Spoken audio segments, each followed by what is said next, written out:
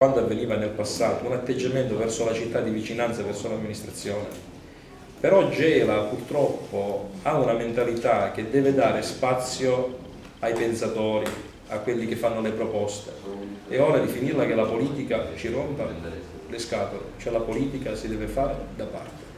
Non facciamo con la cultura le campagne elettorali, le strumentalizzazioni. Io posso dire che fino a questa mattina Vittorio Sgarbi mi ha proposto una personale in Mongolia, vuole fare uno scambio con un artista della Mongolia e me portarmi là, quindi c'è anche una internazionalizzazione. Allora io dico, cioè io sono una risorsa per la città, possiamo fare noi un interscambio con altre, con altre re, re, realtà, ma, ma, non basta, bisogna creare i contenitori.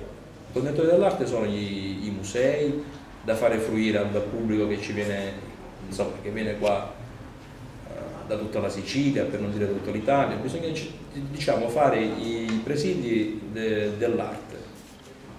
E, e, quindi scatta poi una molla di quello che è poi tutto quello che sta, che sta diciamo, intorno, perché se si pensa solo a fare l'evento come evento di consumo, cioè non serve a nulla, allora tu devi fare il presidio.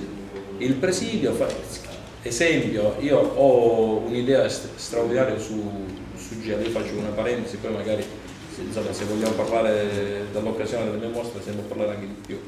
A Gela si può fare un alter ego di quello che è il museo archeologico, cioè un contenitore del Novecento, cioè partendo